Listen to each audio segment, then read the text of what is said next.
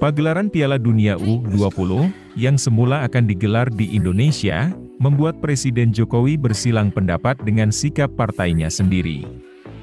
Jokowi dianggap mengalami kelainan ideologis. Indonesia gagal menjadi tuan rumah Piala Dunia U20 dan dihantui sanksi dari Federasi Sepak Bola Internasional, FIFA. Di balik penghapusan status sebagai kandang itu, terdapat gelombang lantangnya kader PDI Perjuangan menolak timnas Israel berlaga di negeri ini. Ketua Dewan Pengurus Pusat PDI Perjuangan Bidang Keagamaan dan Kepercayaan Hamka Hak menegaskan penolakan terhadap timnas Israel sudah selaras dengan amanat konstitusi dan prinsip yang diwariskan Soekarno. Bukan sikap perorangan, ini sikap partai, katanya melalui sambungan telepon kepada reporter Detik X pekan lalu.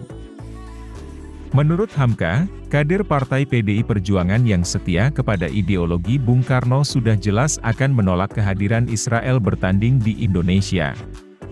Meski demikian, sikap penolakan tidak ditunjukkan oleh Joko Widodo, Jokowi, presiden yang diusung PDI Perjuangan. Tak tanggung-tanggung Hamka menyebut Jokowi mengalami kelainan ideologis, karena sikapnya bertentangan dengan ideologi Bung Karno. Menurutnya, perbedaan sikap Jokowi dengan partainya sendiri tak jadi masalah. Baginya, hubungan Jokowi tak harus selalu harmonis dengan PDI Perjuangan. Karena, kalau harmonis terus, berarti kami mengekor, dong. Padahal kan kami yang mengusung, terangnya. Peneliti Indikator Politik Indonesia, Bawono Kumoro, menganggap sikap PDI Perjuangan terhadap timnas Israel patut dicurigai. Sebab, dalih menolak Israel karena mendukung Palestina diluncurkan PDI Perjuangan menjelang pemilu 2024. Tiba-tiba PDIP bersuara paling lantang, lebih lantang dari partai-partai agama, partai-partai Islam, seperti halnya PKS, yang selama ini lebih banyak bersuara ke isu-isu Palestina-Israel, kata Bawono ketika dihubungi reporter Detik X pada Senin, 3 April 2023. Dugaan Bawono, PDI Perjuangan mungkin ingin menghilangkan kesan sebagai partai yang tidak ramah terhadap pemilih muslim.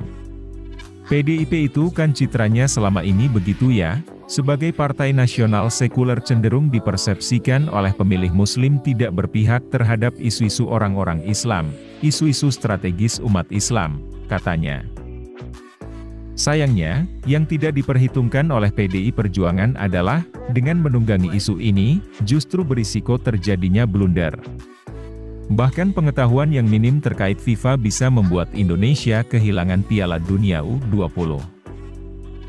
Sebelumnya diketahui, Jokowi menghadiri acara silaturahmi Ramadan yang diselenggarakan PAN.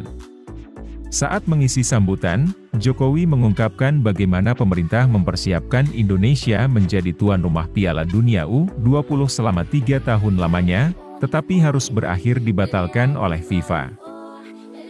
Pusing saya dua minggu ini gara-gara bola.